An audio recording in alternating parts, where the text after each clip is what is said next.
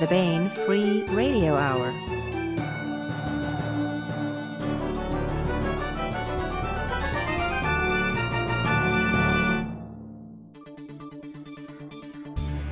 On the podcast, voracious vortices of Vorpatril and Vorkosigan wit and wiliness. A Jackson's Hole contract killing, conventions, caucuses, and covenants of fealty. Plus part 25 of the complete audiobook serialization of David Weber's Shadow of Freedom. All right now.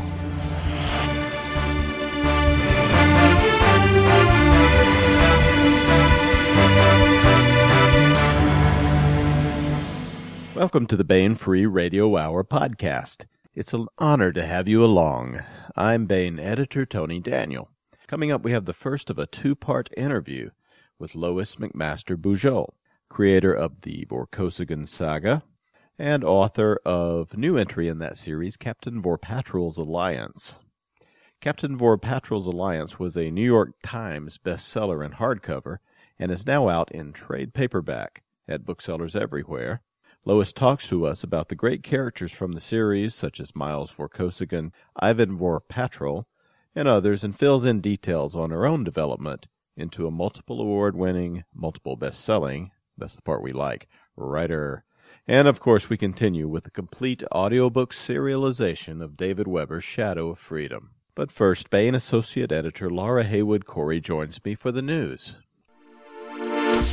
Ugh, I have crud, Laura. Con crud. Oh, did you bring Con Crud back from Worldcon? Yes, I think uh, I think Chuck Gannon gave it to me sitting next to me at a dinner. Oh, well, I hope we don't have Dragon Con Con Crud merging with Worldcon Con Crud. Uh, that might create a super bug that destroys the human race and turns us all into zombies. That sounds very familiar. yes. Well, send up the fireworks and kittens in spacesuits, Laura, because the September original titles are now at booksellers everywhere. Yay! Yep. These include Under a Graveyard Sky. Uh, this is, speaking of which, this is the start of a new uh, series by John Ringo that involves a few zombies. Also, The Undead Hordes of uh, Kan-Gul by Jon F. Merz. This one's fantasy with lots of adventure and ninja on zombie action, I believe. Yep, another zombie book. We are zombie tastic in September. We are uh, also reissuing a couple of Robert A. Heinlein novels in one volume. This is The Man Who Sold the Moon and Orphans of the Sky. And it includes a moving tribute essay by Baen author Mark L. Van Name. Yep. And the cover is by Bob Eggleton. He's done our other Heinlein reprint titles too, which is kind of defining a new look for the 21st century for these books. Yeah, I really like those Eggleton covers. My, I think my favorite is the one he did for Green Hills of Earth. I think that's the one that has uh, a green background and a spaceship uh, Mm-hmm. in the front. It's really beautiful. Uh, so, Laura, how was your Dragon Con?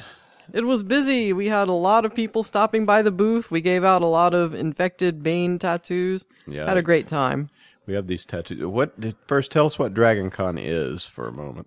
It's Nerdy Gras. It's a big party of about 57,000 people dressing in costume with uh, different tracks of literary programming, movie programming, TV show, actors, a masquerade, a big parade on Saturday. Oh yeah, I like that parade. It's a giant masquerade parade. It's a lot of fun. There was a lot of um, uh, Royal Manticoran Navy uh, masqueraders last year. Were there again? Were they there again? Yes, the Royal Manticoran Navy was there. I saw some folks in Vorkosigan House livery as well.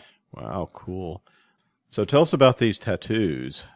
Oh, the tattoos are great. They have the Baen logo on them and they say infected. So, mm-hmm. so you have a temporary tattoo and you can show everybody you've been infected by Baen. Cool. We're gonna have to we're gonna have to give those out. Yes, if you want one of these lovely zombie Baen infected tattoos, send us a self-addressed stamped envelope to our contest address, P.O. Box 1188, Wake Forest, two words, North Carolina, zip code 27587, address to contest. Yeah, send them and please send them to that special address. Uh, that would be the best way to get them quickly. we'll have somebody fulfilling those uh, real quickly in, at that address. Hello, intern. Haha. My Worldcon. I went to Worldcon, which Yes. was in San Antonio. So how was Worldcon? Tell us about Worldcon. It was pretty good. Um, this is the World Science Fiction Convention. Uh, we went. Lois McMaster Bujold was nominated for uh, Hugo for Captain Vorpatril's Alliance. Um, Toni Weisskopf, our boss, was nominated for Best Editor Long Form. We didn't win. We came in a close second in each category. Um, Lois already has like a zillion, gazillion Hugos anyway. Did she wear her uh, necklace? Oh yeah, yeah. She had that necklace that has all the uh, the pins of all the awards she's won, sort of woven into a spider like. It's really pretty. Uh, yeah, we ate a lot of meals on the San Antonio Riverwalk. Um, saw some bullet holes in the Alamos. Good times, good times.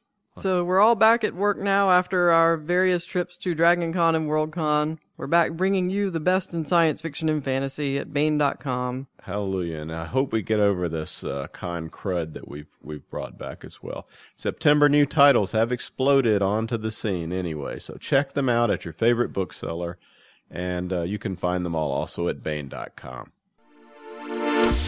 And now, Baen editor emeritus Hank Davis joins me for part one of an interview with Lois McMaster Bujold. We are very pleased to have with us the creator of the Vorkosigan saga, Lois McMaster Bujold. Hello, Lois. Hi there. Thank you for inviting me on your show. Lois McMaster Bujold is the creator of one major science fiction series and two major fantasy series.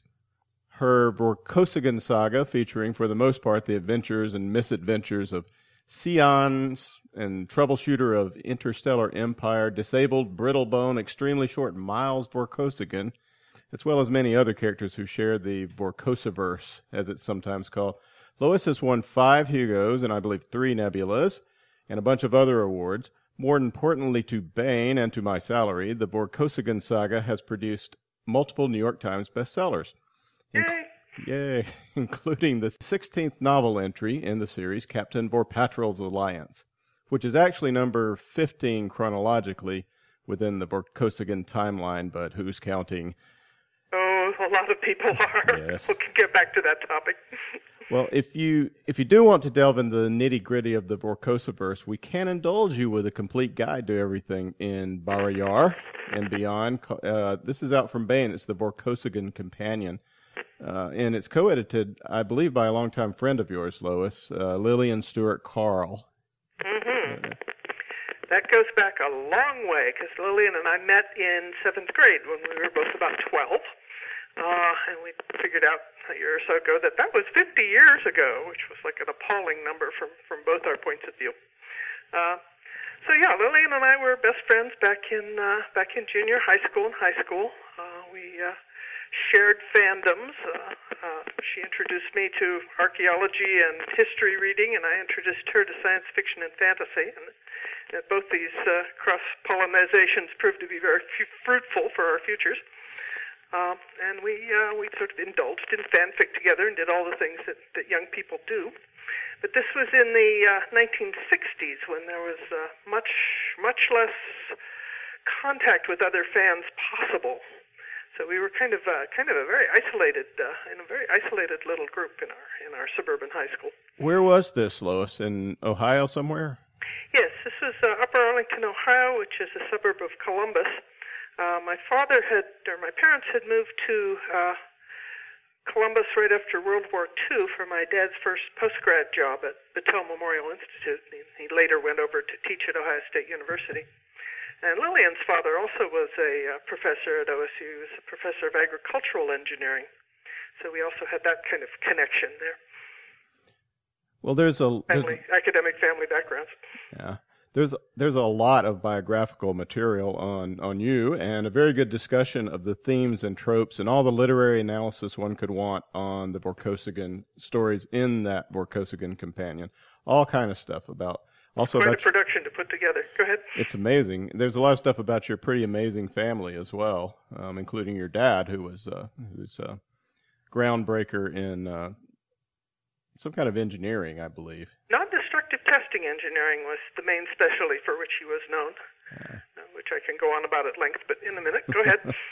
well, and I want to ask you about something else, though. Like we were, I'll, I'll take you back to the '60s. oh God, no, no.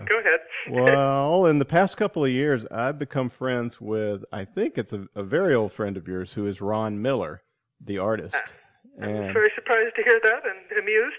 Uh, he's been doing a lot of ebook covers for us lately, and uh, he has put together an amazing uh, collection of classic science fiction uh, public domain novels that he's redone, and uh, it's just an amazing collection. We featured it; it's ebooks. Uh, we featured it on this podcast before.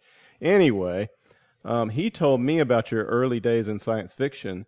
And frankly, he backed it up with some interesting photographs of a young Lois McMaster. He needed models, he said. Go ahead.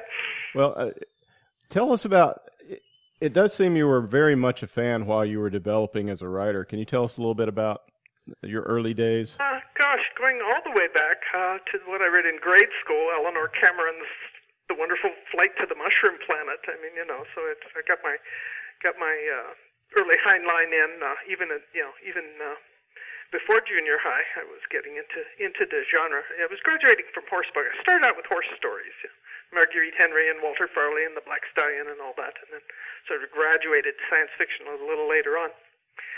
Uh, and I've read this stuff up through up through my teens.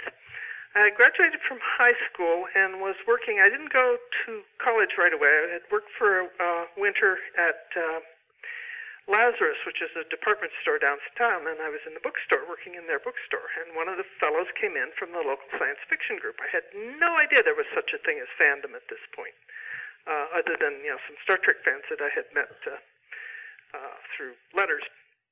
Uh, so. Uh, so we fell into a conversation in front of the SF section, the way you do, mm-hmm. uh, and he invited me to the Central Ohio Science Fiction Society meeting, COSFUS, uh, which was uh, then a, a young group of fans. They were very involved with putting on the early Marcons. And uh, so I trundled off to this thing, which was uh, 22 guys and me in Ron Miller's parents' basement uh, in the late 60s.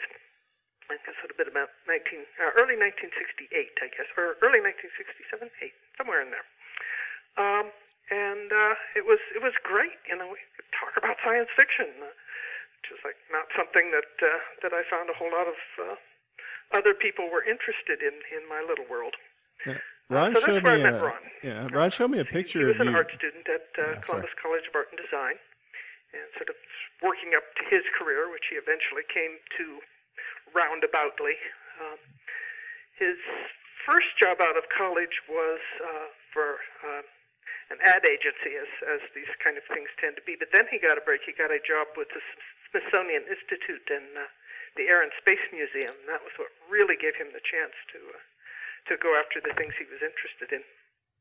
Yeah, he had a he had a lot of interesting guys there. Go ahead. really cool career. He, I mean, he did like the visual design for the Dune movie and and many other things. Now he showed me a picture of you, um, and it looked like you were wearing a Starfleet uniform.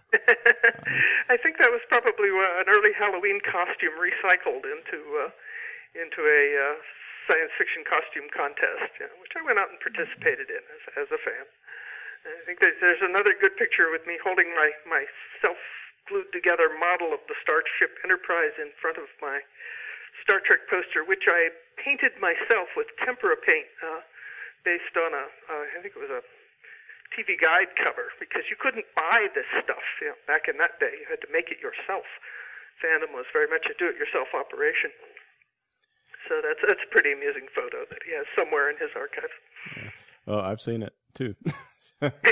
he, truck, he he trucks them out whenever he can. Author picture portrait of the author as a young fan. Yeah. Um, so, uh, skipping a few years later, uh, for those who don't know, you sold your first three novels, all three at once, I think, to Jim Baen, the founder of Baen. Um, Yeah. Ah, let's see. It depends on how much you want to know. Uh, if we go back a ways, yes, get in the Wayback Machine, uh, Sherman. Uh, the um, I had tried to write in high school and, and in college, and then kind of fallen away from it. I got married, I got a job, you know, I did other things. I read a lot for about a decade. And then once again, my friend Lillian Stewart Carl, but also had her kids and was home taking care of them, started to write again, uh, as as we had done back in the day. And uh, some short stories. She was working on a novel, and she made some sales to I think uh, uh, Asimov's and uh, a couple of other of the science fiction magazines. And I was stuck in Marion, Ohio, with two small children and no job. Middle of the Reagan recession, there was nothing to be had that would pay a babysitter. Uh, for a while, as a matter of fact, I stayed home and babysat other people's kids because that was the only thing I could do. Uh, not not a job for me. Uh, but I looked at her, what she was doing, and thought, hey, this is something I could do, you know, at home with the kids. Um, so, uh, so I started working on a, what eventually became a novelette uh, called Dreamweaver's Dilemma, uh, which wound its way to its finish. It was, a, it was, gosh, my first, you know, well, not exactly, not my first story, but one of the first ones finished. Uh, and I sent it off to Lillian for, for some critique. And she had, uh, in the meanwhile, been out on the convention circuit and had met Patricia Wrede, a fantasy writer from Minneapolis who was about our age and who had also just made some early sales. She just sold her first novel. So Lillian uh, suggested I send my story to Pat Wrede for critique because uh, Pat was interested in that kind of thing. Uh, she was involved with uh, critique groups up here in Minneapolis. I was in Marion, Ohio at the time, and Lillian was in Dallas, Texas. Uh, so the three of us sort of fell into a round robin writer's workshop by mail where we would type, I would laboriously type carbon copies because I had no computer in those days, of course, um, and send them off to Pat and Lillian. And then a week or two later, I would get back a letter or some of their stuff, and I would like try to critique modeling off the way they did. So it was very much modeling and learning from each other and bootstrapping each other up. So it was not I was not writing in a vacuum exactly, but it was a small group, um, and and we really, you know, I really got by with some help help from my friends there.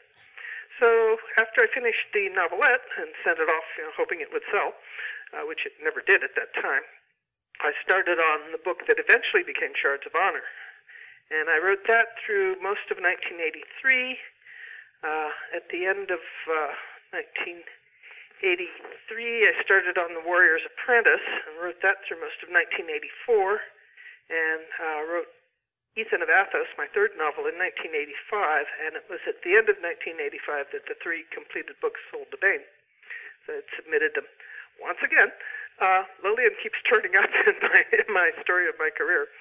Uh, she had bet, met Betsy Mitchell, who was then senior editor at Baen, at a convention, and uh, told me about Baen books, which I had not heard of before and suggested that uh, that I send the Warrior's Apprentice into them when it got freed up from its its last uh, submission.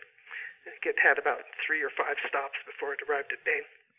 Did and you, uh, so uh, that's how I arrived at Baen. It was also a brand new company then. It started in 1984, I believe, or 82. At any rate, about the same time I did. Uh, so uh, Did you uh did you had three finished books at the time Jim Baen want, wanted to buy books. did you send them out uh did you send them out t- when you sent them out did you uh, multiple submit them or did you do the good thing and send them one at a time to each of them? Oh, I I was good. For God's sake. Um, I was good, and I sent them one at a time, and they took forever to turn around, which was fine because then I went and worked on the next book, which is exactly what you should do.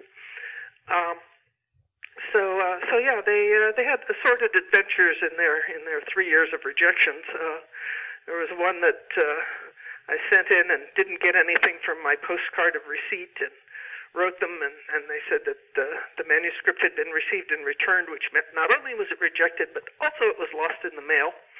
Both of which turned out to be untrue because several months later the manuscript turned up properly rejected this time with a letter from the editor. Uh, so it had been neither. They just were, you know, too confused about their office to find the darn thing. So yeah, I did not trust those postcards of receipt after that. Mhm. Uh, and uh, yeah, others went into the uh, Ethan of Athos went in as a partial to Terry Carr, who was reading at the time for a an Ace uh, first novels line. Ace, I think it was. Um, and he had like a, a slush pile 12 feet high and was ill, so that wasn't you know going anywhere very fast.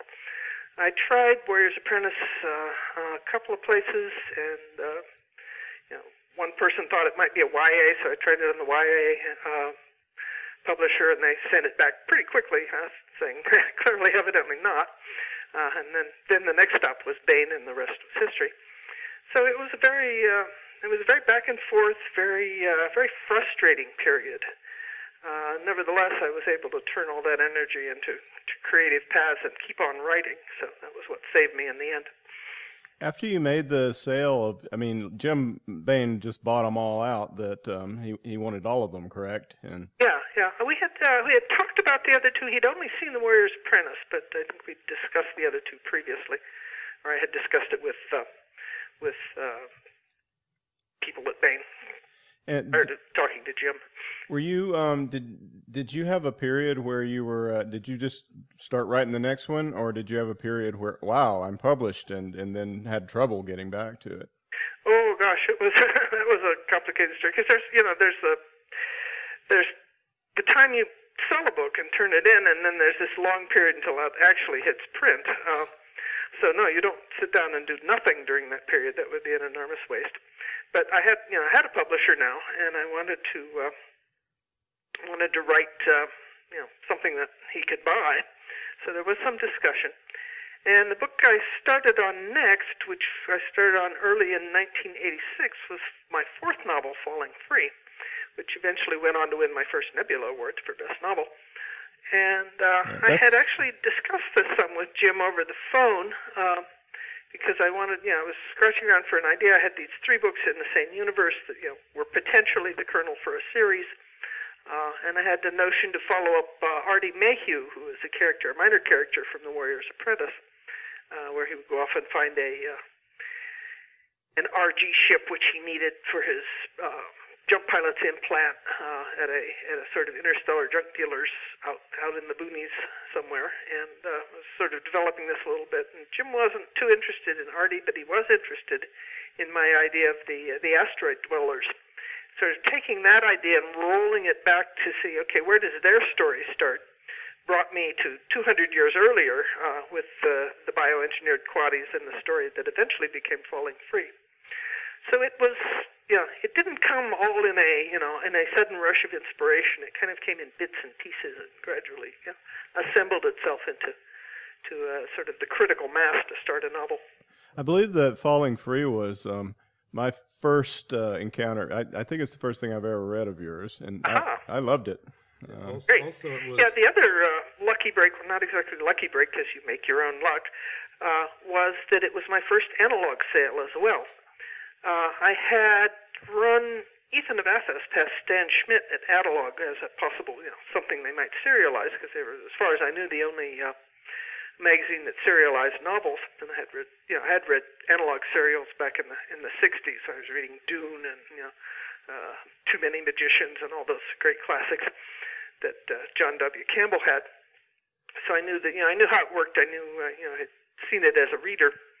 Uh, he couldn't use Ethan, but he gave me some sage advice about you know what he needed, what he was looking for, you know what kind of lead times he needed.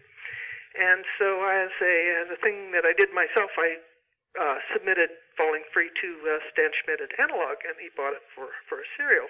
And I think that was an important uh, stepping stone in my career because through the pages of Analog, it brought my books and my name to the attention of a lot of readers who might not have run across it, you know, as a paperback on in the bookstore.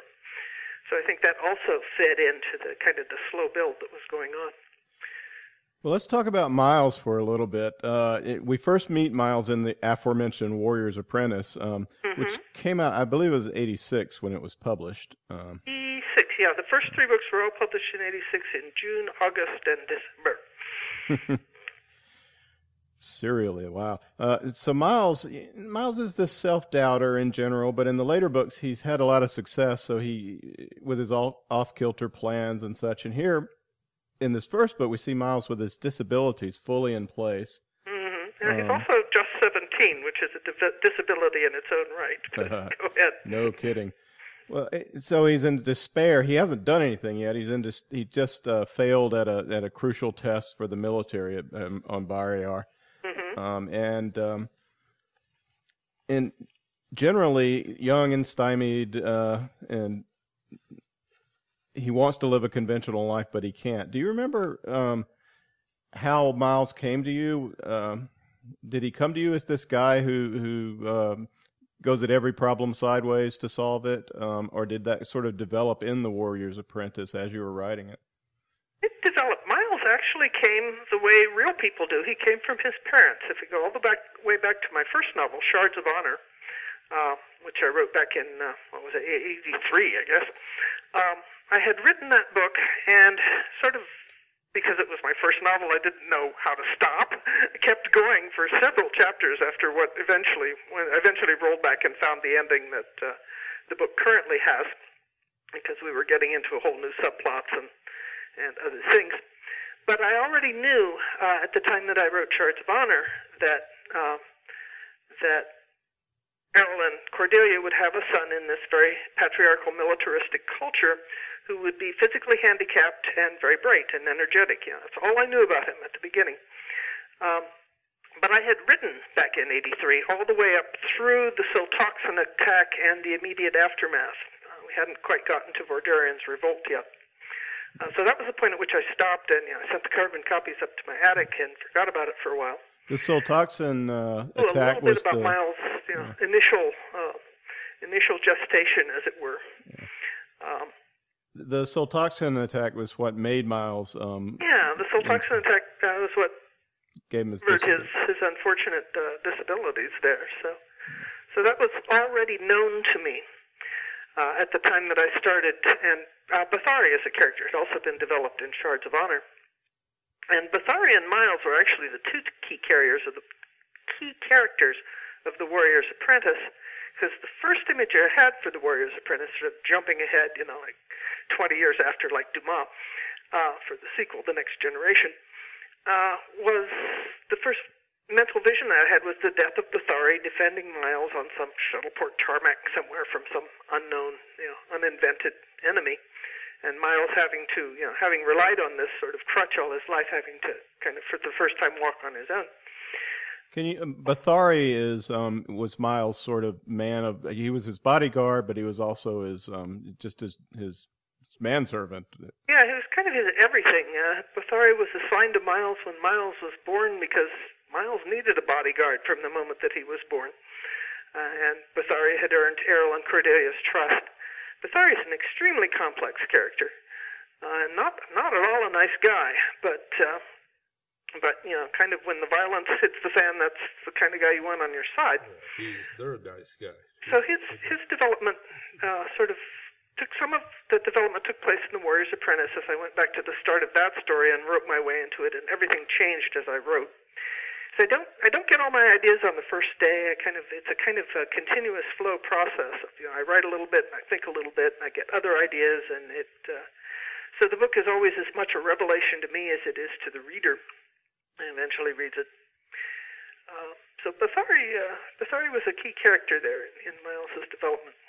So that's yeah, that's where Miles got his start, and then we got into the idea of the uh, the little white lie that goes wrong, and the uh, title, "The Warrior's Apprentice," which is a pun on the Sorcerer's Apprentice, came to me fairly soon. I think it was up, up to about chapter five when I was getting the vision of you know, how this plot would work.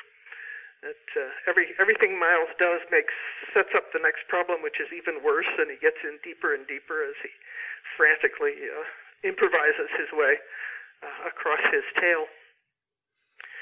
So, uh, so that's how that came about.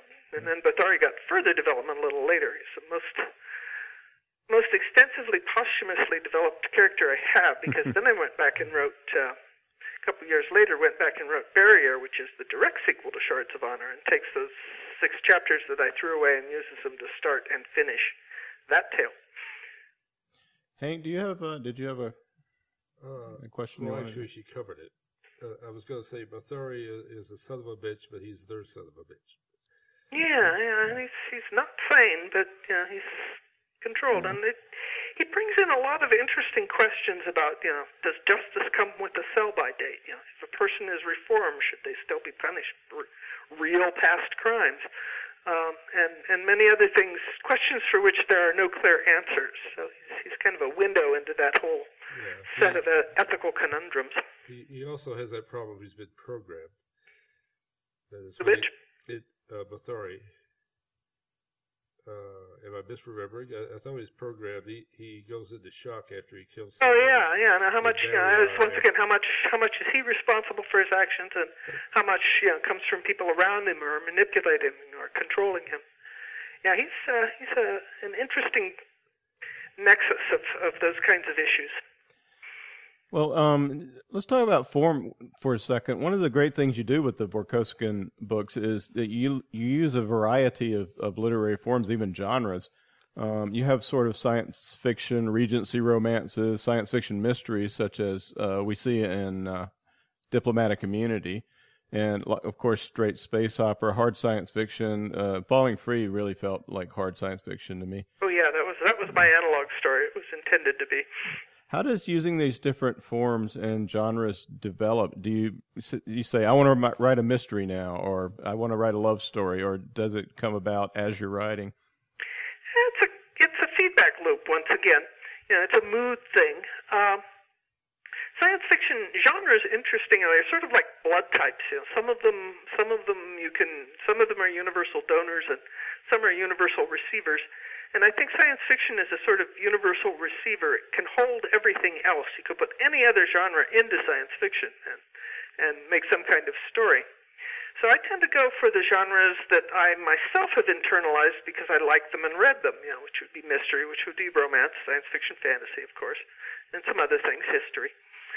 Um, so, uh, so that's you know, that's one of the people often ask me, you know, would would I ever run, want to write anything other than science fiction, you know, in order to do something else? But within science fiction, I can already do everything. So you know, so that that draw is not there. Uh, that sort of creative elbow room is already uh, very large. Yeah, you can and you have. yeah. Yeah, so it's, it's kind of the mood of the year. There will be a particular unconscious theme that's trying to get out, and I will, you know, I will come up. I will have a characters. I have an idea for a character. I have an idea for a world. Sometimes it starts with the characters, as it did with Miles. Uh, sometimes it starts with a setup, the way Aral and Cordelia met. It's a sort of down on a planet, you know, with, with two enemies, putative enemies, having to work together um, and develop them. Um, they uh, sometimes it starts with an idea. This is kind of rare for me. Um, Ethan of Athos, which is the story of the obstetrician from the planet with no women, um, started with the idea of the uterine replicators and what could I do with them that you know that I hadn't seen done in, in science fiction before that time, uh, and thus came up with the idea of the, the planet with no women, Athos, that uh, uh, reproduces uh, with these the aid of technological aid. Yeah. Uh, so, you know, anything can start a story. But once again, using Ethan as an example, I, I was kicking around the ideas that it didn't really start to come together until Ethan appeared as a character. He came out of his setting. Know, what's the most quintessential Athosian? Well, it would be somebody who worked at one of these replicator centers, being, as it were, technologically pregnant for his planet. And uh, once I had devised Ethan, then he started to move through the move through the setting and generate plot, and then it all sort of began. You sort of began to roll the way they do. With Miles' books, with The Warrior's Apprentice, it was Miles was the center, and he sort of generated his own plots, which he tends to do. He had so much energy and so much need to uh, to prove himself that he went out and found things to do. I just sort of had to wait and let them roll in. You know, I didn't have to work too hard at plot with Miles. Just sort of aim him in the general direction of your your setting and, and remove the leash, and he's off and running. So he's he's a fun character to work with because he's so active. Now, Leo in Falling Free is a different kind of hero. He's very methodical. He's a he's a plotter. He's a he's a guy who follows the rules. So I really had to manipulate the setting and the situation to get him uh, in motion as a hero. Uh, so, uh, so You said, each, uh, each set of character settings and plot you know, has a different mix, and each one uh, ends up sort of teaching me things that I didn't know when I started the book. Makes it worth makes it worth having written. You said somewhere that um, that you develop characters that you really like, and then you make the worst possible things happen to them. this has been quoted a bit too often and a bit too bit too uh, without the proper caveats. but yeah, it's kind of it. What I'm trying, what I was trying to get at with that particular uh, throwaway line was that every character has a quintessential plot. You know, the most perfect plot for that character that will most reveal him. Um, uh, Dorothy Sayers talks about this. Uh, I think in, in her book The Mind of the Maker, which is actually about Trinitarian theology, but says a lot of things about writing along the way. Uh, that if you dropped Hamlet down in Othello's plot, you you might get, you know, well, first of all, um, you, you'd probably get some kind of mystery out of it. You know, uh, you know, he, uh, Hamlet would waffle around and waffle around and investigate, and you know, would eventually establish Desdemona's innocence. It would not be, it would not be the tragedy that it was. If you dropped Othello down in Hamlet's plot, he'd probably run the wicked uncle through in scene two, and that play would be over. So that the the the right uh, plot and the right character have to have to match. They have to uh, uh, work with each other and not against each other. So I think that was what I was trying to say: is the plot that you give a character should be the one that reveals what you want to reveal about that character. Uh, so if you if you put a person, two people playing a chess game, you might find out which was smarter. But if you had two people confronted with running into a burning building to save someone, you'd find out which was braver, you know, and possibly also which was smarter. So it, uh, every plot reveals something different about the character, and characters are what they do. You know, they develop through their plots, and they become themselves by going through their stories. Uh, so it's, as I say, it's a very recursive process. You have to have the right elements, so you'll come out with something. You'll come out with a mess. Well, let's uh, let's talk about Ivan. Let's turn to Captain Vorpatril's Alliance. Mm-hmm. This is not a Miles book. This is a book centered on Miles' cousin, who is Ivan Vorpatrol. Uh, now we meet Ivan first. We met him in The Warrior's Apprentice, the very first. Yeah, yeah. uh, He was one of the many characters who walk in, sort of pop out of the prop box and walk in. They're supposed to be spear carriers, but they don't stay that way. They keep developing. and Ivan was one of those. He originally appeared as uh, as someone to annoy Miles in the scene that I was writing, uh, which he did a very good job of. Um, but he, he he was sort of good-hearted even in that scene. Often, and there he was. Go ahead. He was sort of good-hearted even in that scene. He was um he he seemed like he was envying Miles even as he was uh, making fun Uh, of yeah, him. they have a very interesting uh, relationship. Once again, it's a relationship that I developed the backstory as I went. Yeah, so I learned more and more about both characters as I wrote them through the series. But, uh, but yeah, they have they have an interesting backstory. Uh, each each of them has something the other lacks. Uh, Ivan is, of course, physically fit, uh, you know, everything you would want in a in a barrier and for young warlord, uh, apparently. Uh, but of course, he lost his father uh, in the War of Vordarian's pretendership, and, and so he has this kind of truncated family situation. His mother is, is a very edgy woman in her own right. Oh yeah. Miles has these terrific parents. He's got Aral, you know, who daunts the heck out of Ivan. Uh, it's this ultimate father figure. You know, so you give these Miles that a little bit.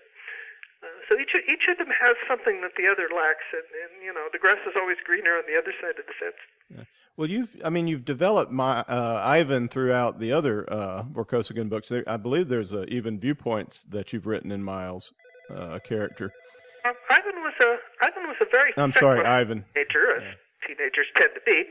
Um, but you know, he grew up. He got better. Uh, we we see him in uh, Brothers in Arms as a as a very young officer. We see him also in um, Ganda as a young officer. So slowly uh, pulling his act together. Uh, we find out more about him. We find out more backstory. We see him in action. Uh, he's a guy who wants to follow the rules because that way you don't get into trouble, which is like matching him with Miles is the worst thing I could do to Ivan. Um, so, uh, so he, he was a fun, he was a fun character, and and he was, um, I think, a little underappreciated. We see him in uh, Memory and in uh, in uh, Mirror Dance, Mirror Dance, and in Memory, as opposite order, and uh, sort of developing once again, becoming more complex, getting older, uh, and then we see him in. Uh, First time he got the viewpoint was in a civil campaign, which is a sort of late series book. Um, and we got to see inside his head, where we find out that uh, Ivan does not have hidden depths. Ivan had hidden shallows, but uh, but you know, still, it's what you see. It's kind of what you see is what you get, guy, which is very unlike Miles. Well, why did you decide that he needed his own book? Um, No, a lot of of people have been asking for it for a long time, and as usual, I ignored them. And then one day, the idea sort of dropped into my brain. Oh, I can give Ivan this situation. Aha, this is perfect. You know, sort of like the right plot for the character appeared, and all of a sudden, he had something to do uh, with this situation with uh, Tej Arqua.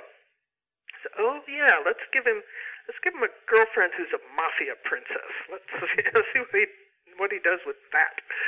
Uh, and it actually worked out quite well. That was part one of our interview with Lois McMaster Bujold, author of Captain Vorpatril's Alliance. We'll have part two of this interview next time on the podcast, so check it out. Meanwhile, New York Times bestseller Captain Vorpatril's Alliance is now available in trade paperback. That's the paperback that's the same size as a hardcover, and it's at booksellers everywhere, so happy reading. And now we continue with our complete audiobook serialization of David Weber's Shadow of Freedom. This portion of Shadow of Freedom is provided by Audible.com. Get the complete audiobook at Audible.com now.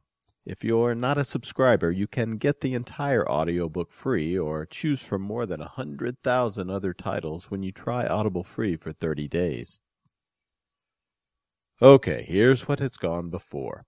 After a fierce war, Honor Harrington's star kingdom of Manticore has reached a truce with a long-time menace, the ancient aristocratic Solarian League.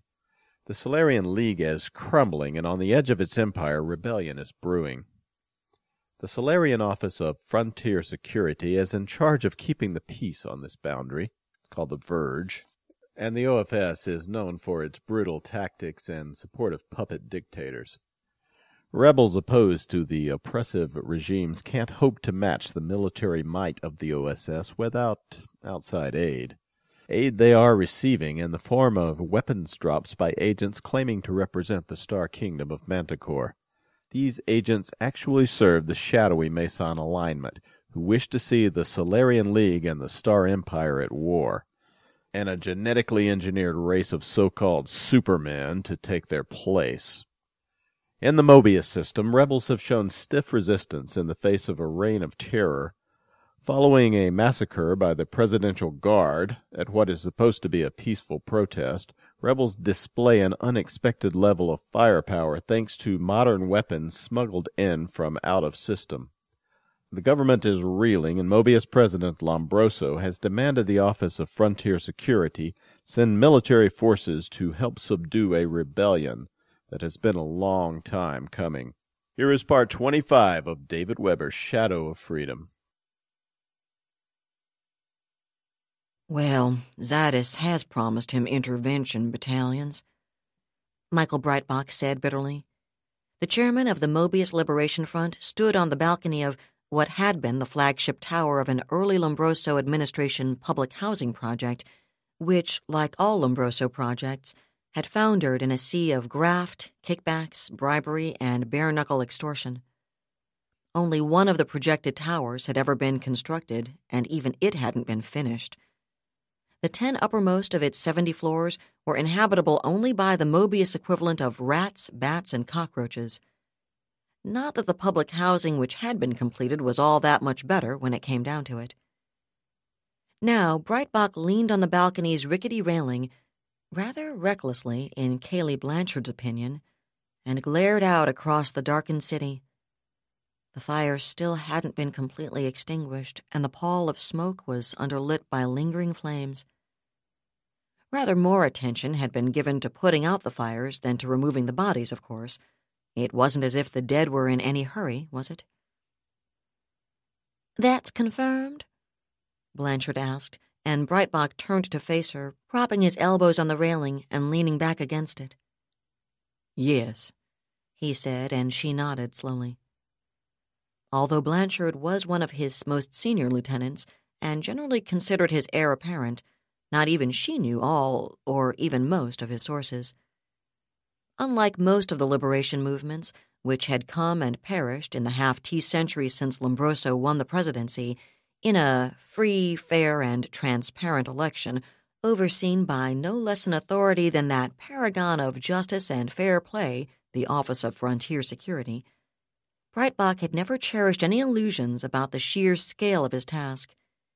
Before he ever formed the first MLF cell, he'd spent literally years researching everything he could find about successful revolutionary movements. As a result, unlike any of the earlier movements the Presidential Guard had crushed, the MLF was a tightly compartmentalized organization which had been known to ruthlessly eliminate security threats. There were far better ways to die than to be identified by the MLF as a government informer, but there was no better way to guarantee one would die, or that one's body would end up deposited in some prominent location as a message to the Guard and any other potential traitors. Do you think Verrocchio will send them? She asked after a moment. I think it's a toss up, Breitbach said frankly. If he broke off, then smiled a bit crookedly as Blanchard gently but firmly pulled him away from the death trap railing. He gave her a quizzical look, but he also followed the pressure of her tugging hand obediently. Better? he asked. Yep. She nodded. I'd just as soon you don't do Lombroso a favor by plummeting to your doom.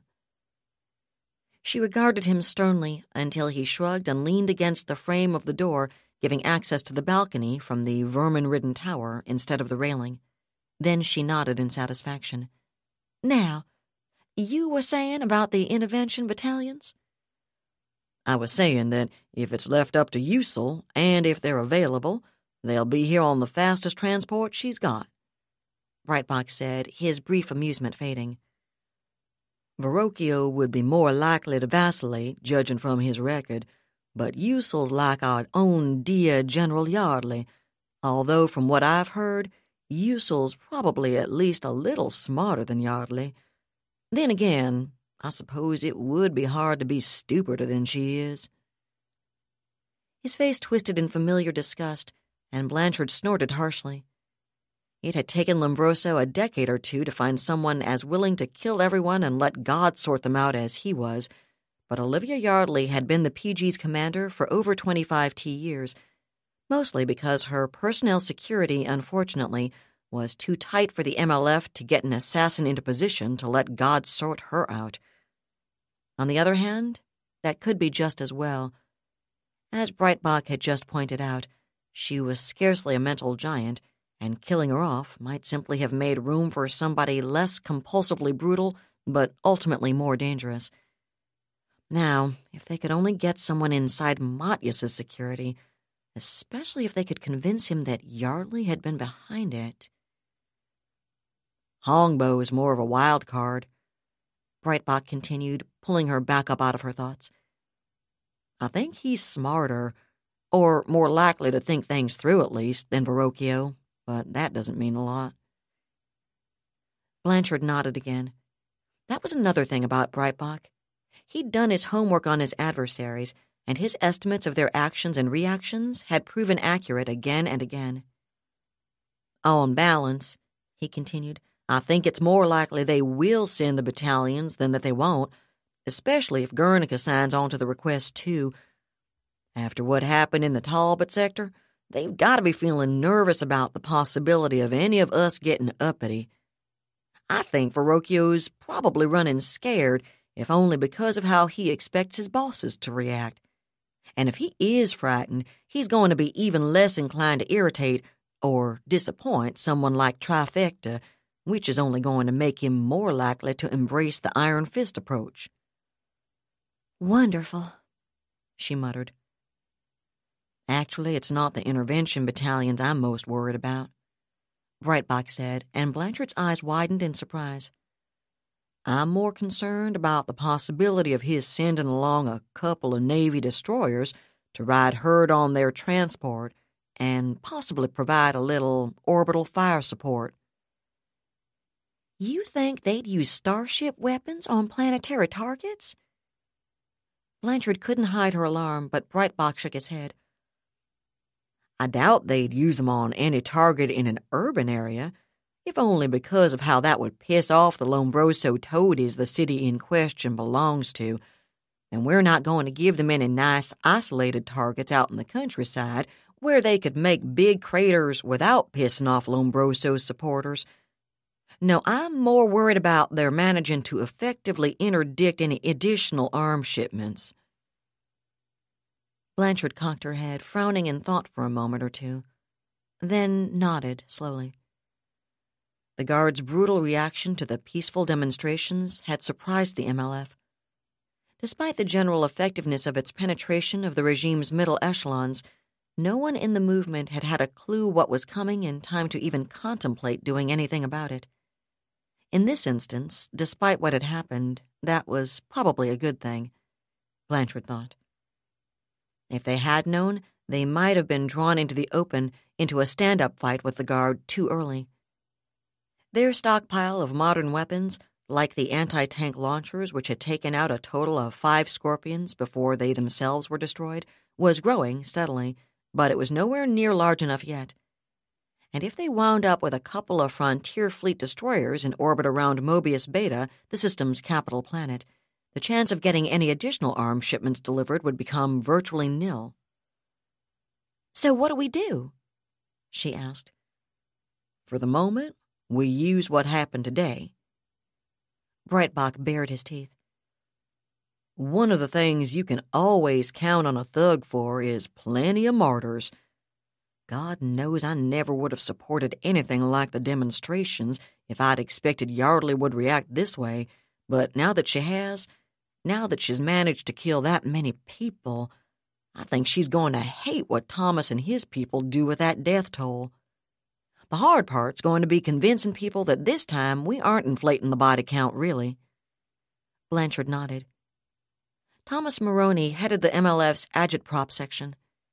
There were undoubtedly many better and more stylistically refined writers in the universe, but Maroney had a gift for putting the people of Mobius's hatred and fury into words at any time. Probably that was because that hatred and that fury were so deeply his as well. There was no cynicism, no ideology in his hard hitting anonymous posts or the graffiti slogans and cartoons with which he decorated more than one wall, even in downtown Landing. There was only outrage, wrath, and passion, and the people who saw and read his messages knew it. I just hope Thomas doesn't take any chances along the way, again, she said. I do too. Breitbach's expression tightened for just a moment, for Maroney's one weakness as a revolutionary was the very passion which made him so effective in his role of spokesman and propagandist. He wanted, needed, to be hands on, and the guard had damned nearly caught him putting up one of his own graffiti less than three months ago. Breitbach had read him the riot act over that episode, ending by pointing out how disastrous it would have been for the Liberation Front if Lombroso's thugs had gotten their hands on a member of their Central Committee. Maroney had argued that they probably would have figured he was only one more rank and file member of the movement, or even no more than a sympathizer, but his heart hadn't really been in it. I hope he doesn't, and I don't think he will, Breitbach said now. I think I scared the crap out of him by pointing out what Matyas could get out of him in the end if anyone did figure out who he really is. Of course, I also think I'll have another little conversation with him about it before we turn him loose on this one, just to be on the safe side. In addition to anything we do here locally, though, I think it's time we sent off our own dispatch boat. If Lombroso and Zadis are running to Verrocchio, we need to do some running of our own. Dispatch boat? Blanchard didn't even try to conceal her surprise at that one. You've got access to a dispatch boat, Michael? In a manner of speaking, he said with his customary evasiveness. Then he shrugged. What the hell? If anything happens to me, you need to know about this anyway. We have a, call him a friend, on the crew of one of the local Transtellar's dispatch boats. I'm not going to tell you which, even now, although I will tell you Landrum knows how to get in touch with him. Blanchard nodded again. Joseph Landrum was one of Breitbach's senior cell leaders. In fact, Landrum had been with the movement longer than Blanchard herself. He was one of the MLF's smoother operators, too, and she wasn't surprised Breitbach had chosen him to manage whatever interstellar communications link they'd been able to establish. Anyway, the dispatch boat in question will be leaving Mobius in the next couple of days. Breitbach continued. Doesn't have anything to do with us, but that doesn't mean we can't make use of it. Especially when, despite the current unpleasantness between the League and the Manties, it's headed into the Talbot sector. In fact, it's heading to Spindle by way of Montana, which is certainly in the right direction, don't you think? Spindle? Blanchard repeated, then smiled. Oh, yes, she agreed. Spindle would be just fine with me, Michael. That was David Weber's Shadow of Freedom, Part 25, read by Allison Johnson. And that's it for the podcast. Thanks to Audible.com. Thanks to Hank Davis, Laura Haywood, Corey, Christopher Chafani, and podcast theme composer Ruth Judkowitz. A billion Vorbarr Sultana voices raised in Barrayaran fealty, honor, and praise to Lois McMaster Bujold, author of Captain Vorpatril's Alliance. Please join us here next time at the hammering heart of science fiction and fantasy, and keep reaching for the stars.